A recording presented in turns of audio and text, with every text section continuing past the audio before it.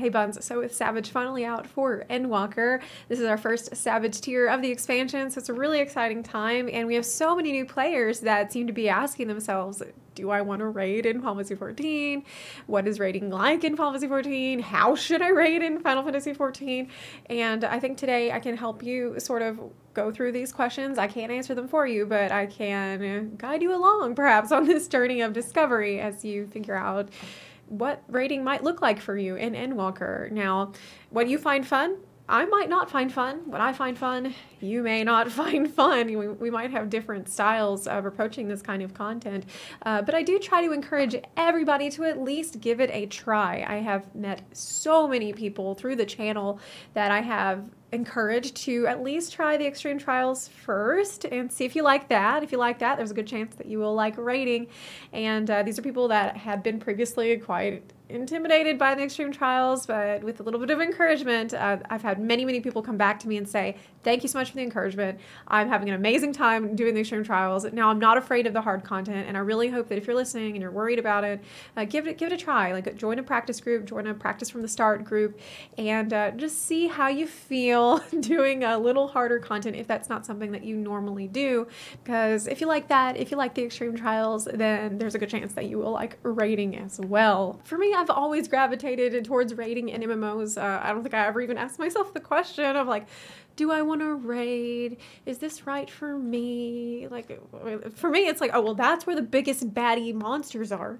And that's where the shiniest, best loot is. So that's where we're going to go. Like, I haven't ever. Uh, I guess I haven't really put a whole lot of thought into it. It just seemed that's the natural next step for me as a max level character. Um, but today, I guess in, in modern MMOs and in Fantasy 14 especially, there are, that's not the only step forward you can take after reaching max level. There are many paths for you. It's just that is my personal preferred path, and therefore I tend to encourage other people to at least take a first step down that path and see if you like it. Like I'll never forget the first time I got my Warblade of Hakkari. That was like my first epic piece of loot as a a rogue in my vanilla raiding guild long, long, long ago. And uh, man, opening that chest, it was like opening up the Ark of the Covenant. I was just like, oh, that's for me. so uh, those are things that I have been hooked on, I guess. The the rush and the excitement of getting loot and uh, killing a boss, and uh, you know also performing well. I'm motivated by that. I remember back in those days when I had first passed to my uh, trial for that raid guild long ago when my guild leader said, Hey, your gear is really bad, but your damage is pretty good compared to your, like, considering your gear. And to me, like, that meant so much to me at the time. And it was from that moment forward that I was like, I will continue to strive to be the best I can with the worst equipment possible what I'm saying is it helped me be uh, performance motivated, and I started to not only be lo- motivated by loot, but also by performance, and that's very true today. So these are questions you need to ask yourself too. You know, what's going to motivate you in raiding, but maybe these are answers that you will only find through raiding. You may surprise yourself and think that you might not like it, and then you end up uh, enjoying it as much as I do. So these are you know, things to just keep in mind. So if you decide that you do actually want to raid, you should make sure of some things first. Like make sure that you have some decent gear, that you are melded, you know, maybe if you can't afford the bestest, bestest melds, have something melded in there. So it like, looks like you made an effort, right? Have some kind of food and, uh, you know, go to the Balance Discord, read the guides for your job, check the resources there, and uh, make sure that you can play. Like, you know how to play your job. You know which buttons to press in the right order. Uh, go to the Stone, Sky, Sea, see if you can kill the dummy there uh, for various fights, and that will go a long, long way in Party Finder or in finding a static, which is really uh, the next thing that we need to talk about. Do you want to raid in Party Finder or do you want to raid in a static? Now, some people do not have the luxury of choice there. Some people are forced to raid in Party Finder, and I've been in that situation before, so I feel your pain. Um, it's like pain finder, really. the thing is that I, I don't want to completely discount Party Finder. There is a lot you can do there, and uh, it's possible that you can get quite lucky with a group in there, and everybody has their stuff together and uh, you make a lot of progress, and everybody goes home happy, right? Either having killed the boss or having made a lot of progress, and so you feel like, wow, that was a great night. I, feel accomplished because I learned so much. You know, that's the ideal situation. But the thing with Party Finder that you you know if you spend any time in it, it's very much like getting matched with people for a group project. And depending on the project, you might be able to get away with not everybody doing everything that they're supposed to do to contribute to the project, right? Uh, there are some projects where that's very hard. You you do need all hands on deck, and you know sometimes you get in a group project and miraculously, the majority of people, maybe all, because that never happens, but majority of people are on board and like um, know what to do and have studied and are helping. okay. Uh, but that doesn't always happen. And uh, this is actually worse than that because you could get into a, a, group like that, an excellent group project, you know, Party Finder group, um, but then, for whatever reason, you know, not all those people can stay. Like this party finder, people come and go all the time. It's a revolving door, and some of those people just might leave, and then you got new people in, and every time you get somebody new in, that's a roll of the dice. It's a roll of the dice of whether they know how to play their job, whether they know the fight up to the point that you were trying to learn the fight, and maybe they're just, you know, maybe they have a bad attitude you know, you need that's also a, a, variable on every single person that joins. Uh, do they have a good attitude? Can they play? Do they know the fight? And uh, there's no real way to guarantee that. And there's always going to be wide variations in skill.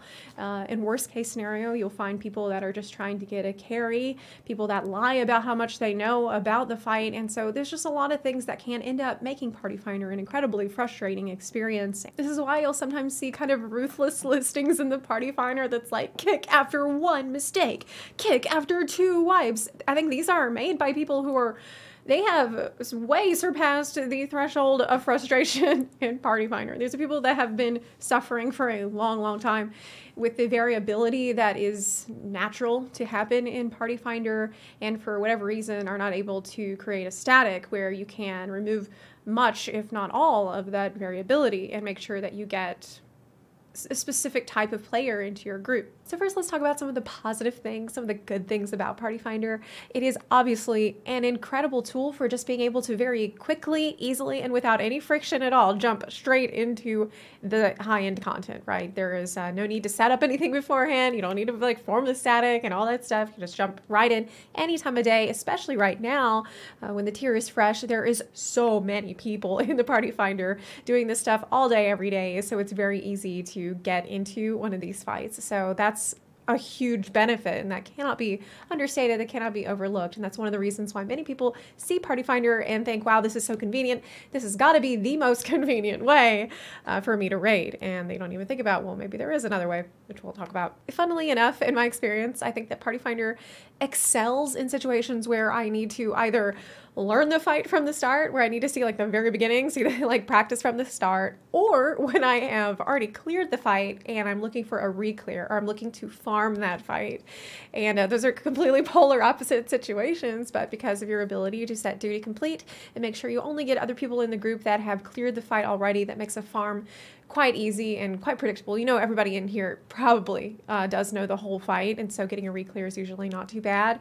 And uh, of course, when it comes to practice from the start, everybody is new or mostly new. There's no pressure, there's no expectation, and so we're all gonna be learning together just by nature of it being the start of the encounter. So I think that that those are two situations where I think Party Finder excels and has been very helpful to me. Where things start to kind of fall off, however, is when I have learned some of the fight, and I would like to go back and pick up where I left off. Uh, that's where the pain begins generally with the party finder, because of course you are going to be matched with people who might not be at the same level of proficiency in the fight as you. They might not have seen as far into the fight as you, and there's just no way really uh, to guarantee that. There's not like a first phase complete that you can set on Party Finder, and so a lot of times in my experience raiding through Party Finder, which I did in Stormblood actually uh, for a tier, and it was horrible. like, full disclosure, I, I hated raiding in Party Finder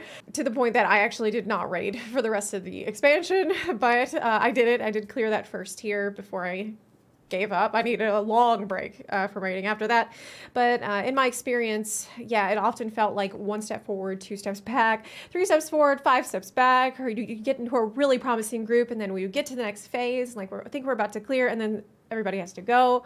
Like that was really soul crushing. So um, I my heart goes out to the people that have to go through that. Uh, it is possible, and uh, I want to reiterate again that at the start of a tier, like right around now, this is the best time to do Party Finder if you're going to go the Party Finder route.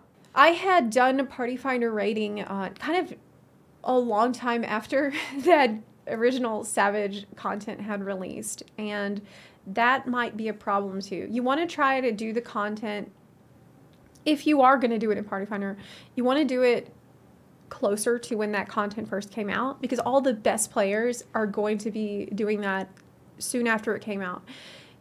Near the end of that life cycle of that content, like long, it's been a long, long time since that Savage tier came out. The people that are left that still haven't cleared at that point, a lot of times are not going to be the best players. Uh, like obviously, there's going to be some good players that just happen to be new and they just got to max level, but there are going to be a fair number of people that have been trying to clear this fight for so long, and for whatever reason, they are just not improving at the fight. They are blaming other people. They are not taking responsibility for the problems that they themselves are causing, and they're bitter. They're very bitter. I ran into so many people like this uh, near the end of that uh, savage tier cycle, uh, the life, the lifespan of that savage tier. So what I'm saying, in short, is if you must party finder because you're a shift worker or something like that, try to do it like now, like closer to now uh, when this video comes out, because right now is when the tier is very fresh and there's going to be a lot of great players um, that are trying to get their uh, initial clears, and there's a lot more leniency in general uh, towards people that are new because so many people are new still to this new tier. Another issue that you might run into with doing Party Finder raiding, and this is something that I experienced when I was playing a Red Mage at the beginning of Stormblood, if you're on a popular job, um, there might not be a lot of spots for you available in groups. Many groups have one player per job listed, and that means there's not going to be an open spot for that new popular job. Like that, that spot fills up so quick, so fast. Uh, there were nights I remember playing a red mage at the beginning of Stormblood, doing Party Finder raiding, uh, when I would just sat in Party Finder for hours and hours and hours and hours. I just could not find a group that was like had the red mage spot, was up to the point in the fight that I needed to learn.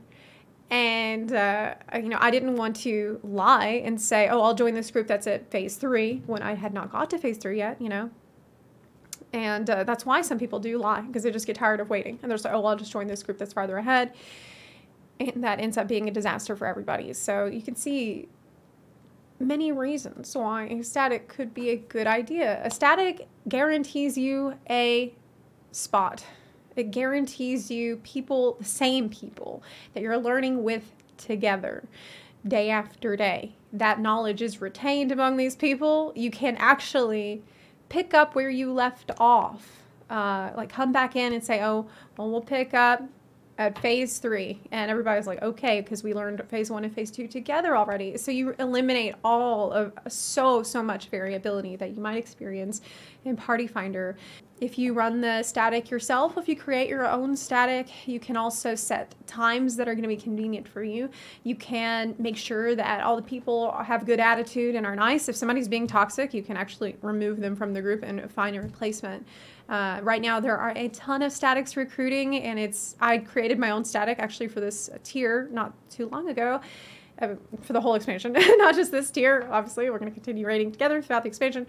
Uh, but I had no problem recruiting people for this static during weird times as well. I mean, I raid during the daytime, I stream during the daytime, so that's another reason why uh, it was really important for me to create my own group so I could fit my most convenient times. I also created a static when I had first gotten to level 60 in Heavensward. That was max level at the time in this game. Uh, I immediately formed a static. Like as soon as I got to max level, I created a static, even though I was very casual and I was not very good at the game at the time. It was easy for me to create a static then. That was before YouTube, that was before streaming, so nobody knew like who I was at the time. And I remember it not being difficult at all to put a static together. So uh, if I can do it, you absolutely can do that too. What I'm saying is that raiding with a static will save you a lot of time compared to raiding with the Party Finder, and it also has the added benefit of you getting to know people. You'll make some long-term friends. Like it's it's impossible not to become friends with at least some of the people that you are in a static with because you're going to be seeing each other regularly, and you're going to be sharing goals of clearing this content together. You'll be forced to communicate about things that are happening in the fight, and uh, you'll to me, that's some of the most enjoyable parts of raiding.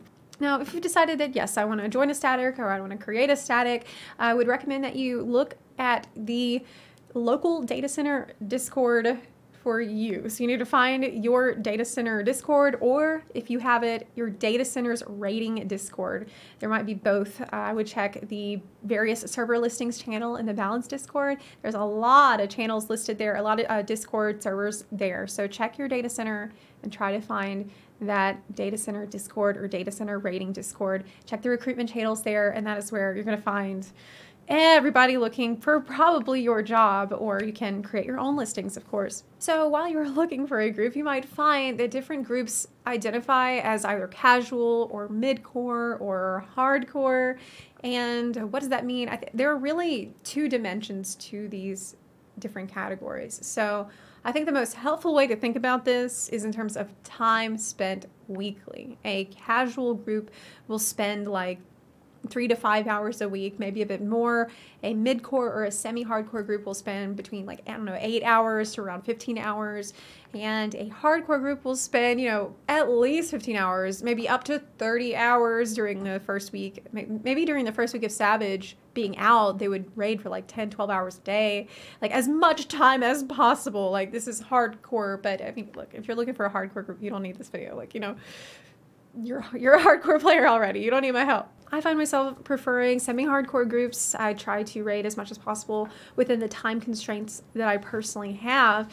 Um, but there is the other dimension to this, which is the attitude towards progression. What is your mentality about progression? And I'm talking about this now because it's actually really important for you to figure this out before you create a static. If you don't know at all what you want, then you should join probably a casual group and you know, if you join though, that is a little bit of a commitment. Like you need to stay with them for this tier. And through that experience, you will determine, you will decide for yourself, well, did I like raiding that much? Do I want to raid more? Um, did I like this attitude or do I want a more serious attitude? Now, this is where it gets blurry, and this is why, like, I, I tend to prefer talking about uh, casual, midcore, hardcore in terms of time spent per week, because it gets really messy when you try to categorize oh every casual static has a casual attitude and every mid-core static has a more serious attitude because that is not the case at all. Uh, it, it's really there can be excellent players that are very serious about progression that might find themselves in a casual group that has you know five hours a week just because this person is extremely limited on time they, they're just really busy in their day-to-day life and they just don't have the time to put into a more serious minded serious time investment group, right? But aside from those cases, the casual mentality usually is not so focused on getting the clears done to the like to the best like do the best job that we can on this boss. It's more like oh we had fun together and we killed this boss in our own time and a clear is a clear. It doesn't matter if like we all did our best performance on this clear because we had fun and uh, that's okay. Like if, if you're having fun and everybody else in the group is having fun then there's there's nothing to be faulted with this. A lot of people are really pretentious about it and say you know it's not okay to play the game in that way. But the point of the game is to have fun. If you're having fun then you won the game okay? Uh, but you do need to kind of nail down for yourself what kind of mentality do you want to take. So i think there is a distinction that you need to draw between how many hours a week do i want to raid and how seriously do I want to take the progression? Because if you put a progression minded, performance minded. You know, I'm trying to get the most damage out of my job. I want to perform the best my ability person in a group that has more of a casual mindset. If you put someone like that in a group like that, uh, they're not going to have a good time, most likely. And it's going to end up ruining that vibe for everyone else. So you need to ask yourself, what kind of a vibe do I want to join? What kind of vibe do I want to create? And I think either one of those vibes is fine. Uh, but you need everyone to agree. You need everybody on the same page about what kind of mindset you want to take towards progression. Like, do you want people to study the fight beforehand? Do you want them to have their food and their potions ready? Do you want them to be like, you know, making sure that they are doing the absolute best that they can possibly do every single time? Um, what kind of rate do you want to get these bosses down? How quickly do you want to clear this tier? For me, actually, I think this is something that has evolved uh, over time. I think in Shadowbringers, um, I was had more of a casual mindset about raiding, but as I got more confident with my job, as I got more confident with raiding in general, and I learned more about optimization. I started to have more and more fun doing those kinds of optimizations, and uh, I I started to enjoy the more serious side of raiding more. And serious makes it sound like it's not fun. That's why like I don't like to say, oh, these people have fun and these people don't have fun because it's not true at all. Like I'm having the time of my life right now. Uh, and I would say probably a semi-hardcore group. But everyone is uh, very highly motivated to improve, highly motivated to do the best possible job that we can do together. And uh, if we clear and there was a lot of wipes and it was messy, like generally not too happy with that. And uh, that's that's what where I feel most comfortable. I think now. So this is something that you'll need to figure out for yourself, maybe through just getting in there, getting in there, giving it a shot, and see what you like, see what you don't like.